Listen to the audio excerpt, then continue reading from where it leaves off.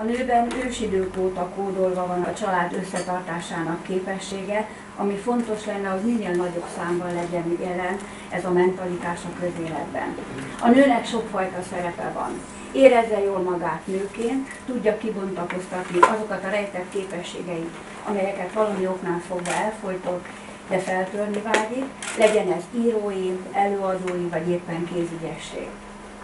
De helyt kell állnia a munkaerőpiacon, az sem baj, ha nem elszenvedője, hanem éppen ebben kiteljesedik a személyisége. Majd következnek a szerepek, a feleség, a háziasszony szerep, és végül ez bekoronázza az anyaság. Egy nő akkor tud igazából közéleti ember lenni, hogyha ezekben a szerepekben elég jól tud működni. Mi ezeket a szerepeket próbáltuk ez az elmúlt tíz év alatt segíteni, vagy éppen teret adni az elfolytott tehetségeknek. Tettük ezt jól, vagy kevésbé jól, de mindenféleképpen hittel és szeretettel. Közben eltelt tíz év.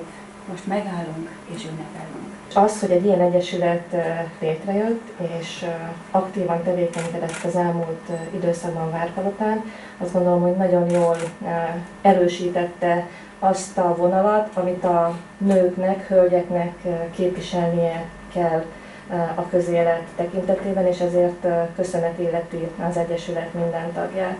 De azt gondolom, hogy ezen túl fontos értékteremtő munkát is végzett az Egyesület. Kedves vendégeink, természetesen a tisztújtó közgyűlésünk a maga hosszúságában és aktivitásában lezajlott, a választás megtörtént, ez most csak egy formális átadása a tisztségnek. Lezárult tíz év az én életemben, új szakasz kezdődik. De azt gondolom, azt gondolom, most megerősítem magam, most is lehulik, mikor én itt szomorú vagyok. Szóval azt gondolom, hogy amíg a nők beverik a fejüket az üvegplafonba, amíg kevesebbet keresnek, mint a férfiak, amíg nincs legalább 30% nő a parlamentben, ameddig alacsonyabb rendű állampolgárnak számítunk, és sorolhatnánk, hogy szükség van a nőegyesületekre, nő szükség van az érdekvédelemre, szerintem a kvótára is, bár ezt sokan vitatják, tehát élnie kell az érisznek. Én azért gondoltam úgy, hogy kicsit hátrébb vonulok, mert azt tapasztalom, hogy véges az emberi élet, és én sem vagyok már 20 éves, és szeretném, hogyha együtt tanulnánk meg a hogyan továbbot, Etelka és az új vezetés is, meg a teljes tagság képes arra, hogy az ászlót tovább vigye. Én most ezt a stafétabotnak számító valamit átadom az Etelkának. Etelka, kívánok nagyon sok örömöt, kevés bosszúságot, és sok sikert a következő tíz esztendőre.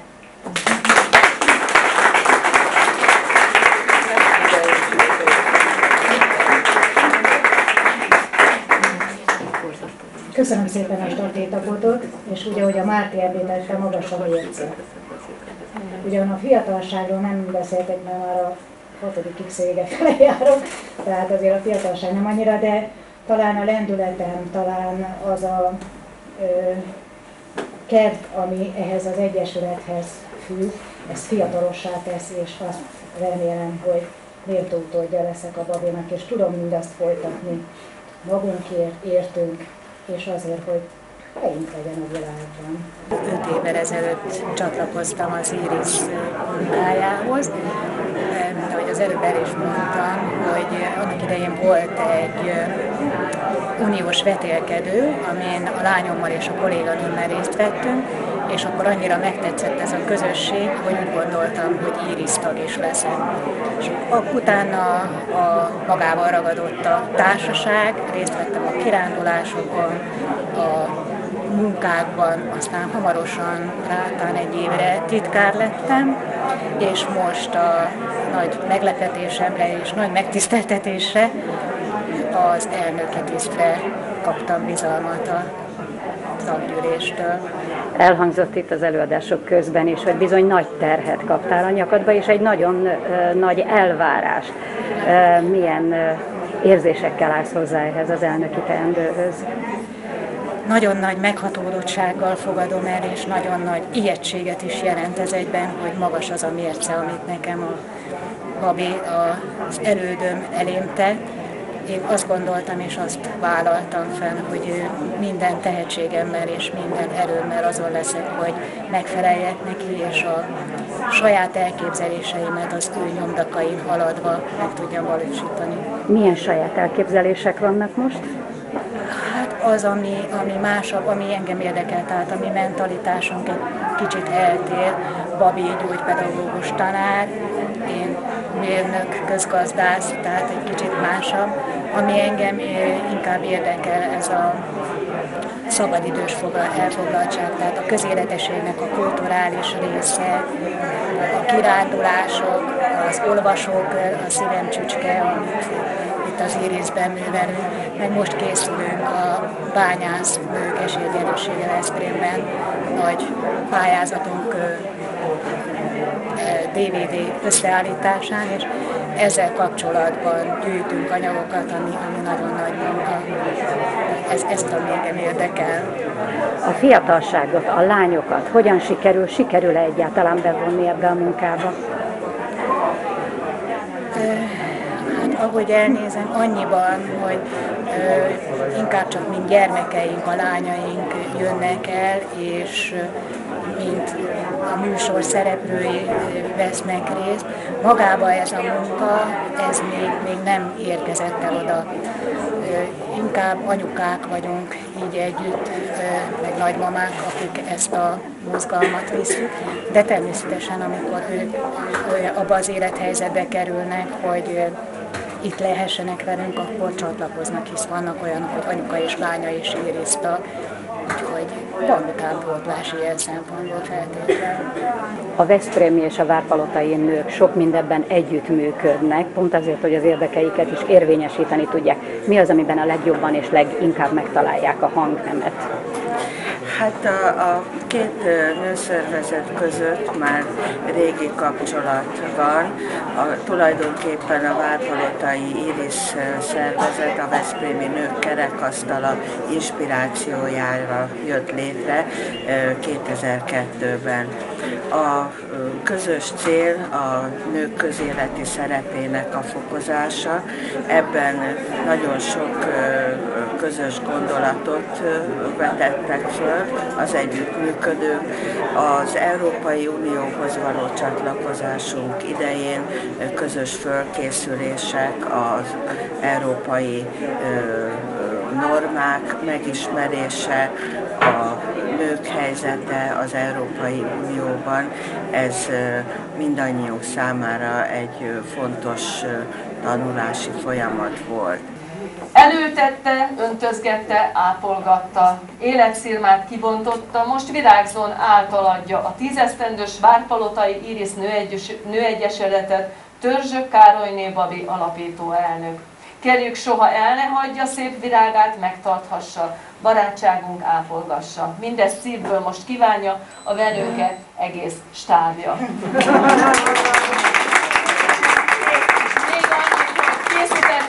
kis emléklapot nem tudtunk dönteni, kétfélét készítettem, és nem tudtunk dönteni, ezért mind a kettőt szeretnéd majd lett volna ott hagyni, és még a mi emblémánkat is rá. Természetesen. Köszönöm szépen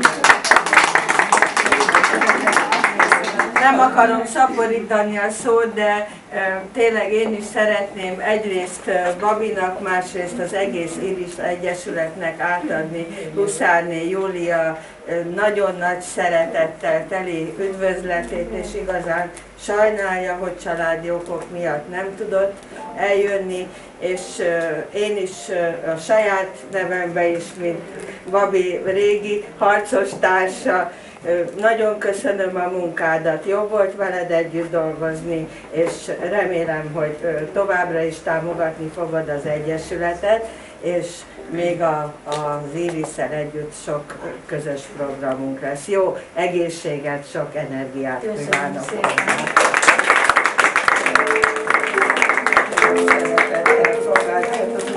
Nem most ismerjük egymást, hiszen nem csak az egyesületeink dolgoznak együtt, már több mint tíz éve, hasonlóakat teszünk, de azt gondolom, hogy a női egyesületeknek a 80%-a is hasonló munkával teszi a dolgát a nőkért, a gyerekekért, a családokért, a karitatív tevékenységért, a kézműves műhelyekért és minden másért, ami nekünk azt mondják, hogy jól áll, és mi azt meg tudjuk tenni. Mi meg is fogjuk tenni továbbra is. 92-től 94-ig voltam képviselő, az időközi választásokon jutottam be, és most nagyon becsületesen itt előtetek bevallom, hogy soha többet.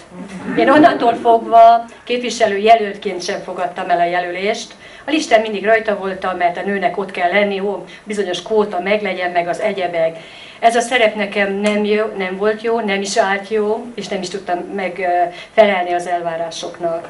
Aki képviselő, az tudja, hogy milyen áldozattal, milyen lemondással, és bizony mennyi munkával jár ez. És mikor hazamentem csütörtökön este, másfél év telt el már, és hogy becsuktam a bejárati ajtót, harmadik emeleten lakom, letettem a kis csomagomat, megfordulok, becsukom az ajtót, és rajta van a 92-es választási kampányplakátom, ekkora betűkkel aláírva, ő a mi anyukánk. Na akkor szembesültem azzal, hogy megint változtatnom kell, mert bizony anyukaként is szerepet kell vállalni ahhoz, hogy azért minden helyén legyen, és minden nap, és minden este, és folytathatnánk, hiszen nők vagyunk, és ti is ugyanazt csináljátok. Nőknek igazán azt az esélyt kellene megadni, hogy ők tudjanak dönteni a család és karrierorientációs modell kapcsán, hogy ők elsősorban anyák szeretnének lenni, vagy inkább a társadalmi munkamegosztásban, közéletben, gazdasági döntéshozatalban valamilyen magasabb szerepet betölteni. Hiszen én azt gondolom, hogy jogszabályok mindig is voltak, hiszen hogyha végig gondoljuk akár a múltban létrejött jogszabályokat, akár 1957-ig visszamehetünk, hogy a római szerződésig, ahol már megfogalmazódott, hogy az egyenlő munkáért egyenlő bér elvét érvényesíteni kell. Ha jól megnézzük, akkor 2013-at írunk, és mindig ugye 20%-os rés van a nők és férfiak keresete között, akkor azt mondhatnánk, hogy hol vannak a nőszervezetek, mit tettek, hogyan tudják a nők érdekeit képviselni. Ugyanakkor mi azt látjuk, és elsősorban tudományos munkánkra alapozva, hogy sajnos mi nők tehetünk azért, hogy például ez a keresett különbség tartósan fennáll. Hiszen a nők érdekérvényesítő képessége iszonyatosan alacsony, hogyha egy állásinterjú megkérdeznek egy női munkaerőt, hogy mennyiért vállalja el az adott állást, akkor hogyha mondjuk százat lehetne kérni, akkor 70-et, 80-at mond, szemben mondjuk egy férfi kollégával, aki 120-at, 130-at. Akkor ugye megint felvetődik a kérdés, hogy akkor minket diszkriminálnak, vagy mi diszkrimináljuk önmagunkat. Így voltunk mi akkor hárman vendégek, egy tényleg fantasztikus csapatnál, akiktől olyan lelkesedést, töltődést és energiát kaptunk, hogy elhatároztuk, hogy itt Várpalotán is létrehozzuk ezt a szervezetet. Ezt az úttörő munkát te vállaltad, mi büszkék voltunk arra évával, hogy társaid lehetünk ezen az úton, és együtt dolgozhattunk veled hogy ez az út veled nagyon szép, nagyon termékeny, nagyon sikeres és nagyon eredményes volt. Nehéz most kivírnom meghatolás nélkül, de higgyétek el, hogy belül remeg a lelkem. Csak veletek ment. És a következőt szeretném mondani. Veletek tíz év múlva ugyanígy.